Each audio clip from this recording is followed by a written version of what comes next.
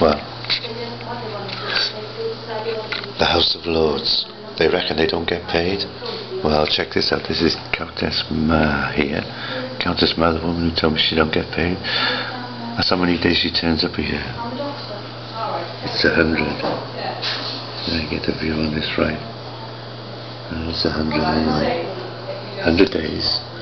She gets twelve grand for the uh, night, eight grand for the day or whatever. That's office expenses. That's getting to there. So she's on twenty-four thousand five hundred for one hundred days. There we go. About that, and I mean some of the other ones. This guy's on. He's going. Oh, let's have a look. Where we by here now? If you go on the House of Lords not the site, you see a number of days of attendance.